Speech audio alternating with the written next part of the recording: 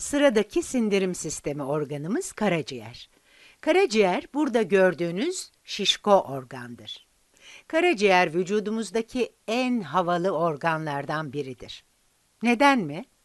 Karaciğerin küçük bir parçasını alıp karaciğer yetmezliği ya da diğer bir adıyla sirozu olan bir hastaya naklederseniz zamanla büyür ve normal bir karaciğere dönüşür. Karaciğer bunu yapabilen tek organdır.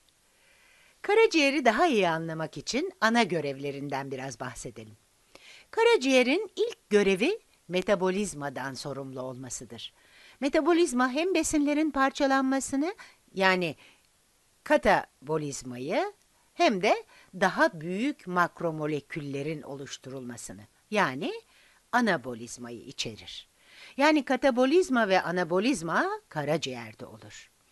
Karaciğerin bir başka görevi de bu besinlerin depolanmasıdır. Bu besinleri daha küçük hale getirmediğimiz ya da birleştirip daha büyük hale getirmediğimiz zaman onları saklayacak bir yere ihtiyaç duyarız. Bu yüzden vücudumuzdaki yağ ve karbonhidratlar burada depolanır. Yani karaciğerde. Karaciğerimiz bu besinleri üç farklı şekilde depolar. İlk olarak karbonhidratlar ve yağlar glikojene dönüştürülerek depolanabilir. Glikojen birbirine bağlı bir sürü monosakkaritten yani basit şekerlerden oluşan polisakkaritlere çok benzer. Karbonhidratlar ve yağları depolayabileceğimiz başka bir yolsa onları lipoproteine çevirmektir. Lipo yağlı demektir. Protein ise bildiğimiz proteindir. Son olarak da bu iki besini trigliserit olarak depolayabiliriz. Trigliserit yediğimiz besinlerdeki bir yağ türüdür. Karbonhidrat ve yağ enerji üretmek için kullandığımız makromoleküllerin başında gelir. Karaciğere gelen diğer bir makromolekül de proteindir ama proteinler karaciğerde depolanmaz. Bunun yerine albumin gibi moleküllere çevrilir ve başka görevleri yerine getirmek üzere kan dolaşımına katılırlar. Ta ki karaciğer tarafından tekrar geri toplanıp başka moleküllere çevrilinceye kadar. Detoksifikasyon isminden yaptığı işin belli olduğu o güzel bilimsel terimlerden biridir. Karaciğerimiz detoksifikasyon yaparken toksinleri yani zehirli maddeleri alıp vücudumuza zarar vermemeleri için değiştirir. Detoksifikasyonun büyük bölümü stokrom P450 enzimleri tarafından gerçekleştirilir. Stokrom P450 diğer enzimlerden farklıdır. Öbür enzimler gibi tek bir molekülle etkileşime girmezler. Örneğin fenilalanin hidroksilaz enzimini ele alalım. Bu enzim fenilalanine bir hidroksilaz grubu bağlar ve sadece fenilalaninle etkileşime girer. Fakat stokrom P450 birçok molekülle etkileşime girer. Bu durum sadece stokrom P450'ye özeldir.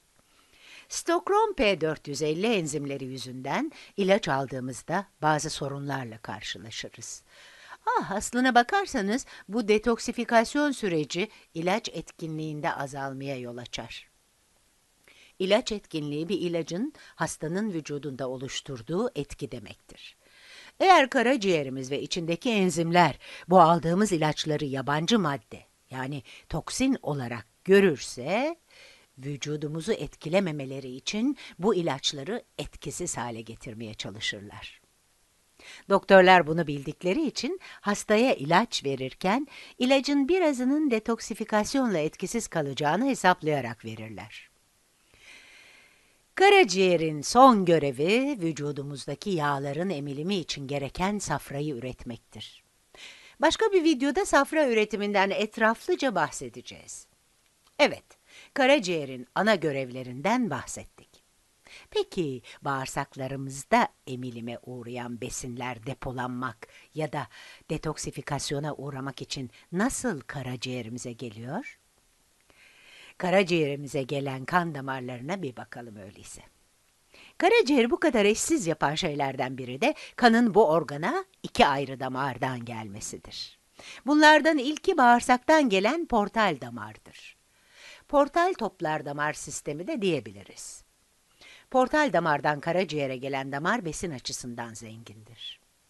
Peki bu besinler nereden geliyor? Bağırsaktan emilen yiyeceklerden kan dolaşımıyla portal damara gelir. Buradan da metabolizma işlemleri için tabii ki karaciğere. Bu kanın besin açısından zengin olduğunu söylemiştik. Peki karaciğer oksijenini nereden alıyor? Tabii ki farklı bir damarla. Bu damarın adı ise karaciğer atar damarı.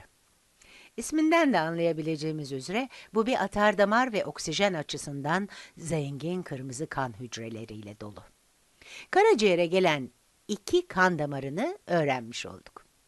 Peki ya karaciğerden çıkan damar? Karaciğerden çıkan tek bir büyük damar vardır. Bu damarın adı da karaciğer toplar damarıdır. Karaciğer toplar damarının özellikleri önceki saydığımız iki damarın tam zıttıdır. Hem besin açısından hem de oksijen açısından fakirdir. Karaciğer toplar damarı yoluyla karaciğeri terk eden kan, oksijen almak için önce kalbe gelir. Bağırsaklardan geçerek besinleri alır ve portal damarı ya da karaciğer atar damarı yoluyla tekrar karaciğere geri döner. Karaciğerden çıkan başka bir şey ise safradır. Safra, ana safra yolu ile karaciğeri terk eder. Neyse, söylediğim gibi başka bir videoda safradan daha etraflıca bahsedeceğiz. Şimdilik hoşçakalın. Aziz dostlar, kanalımıza abunə olmağı unutmayın. Bir-birindən maraqlı videoları kanalımızda izləyə bilərsiniz.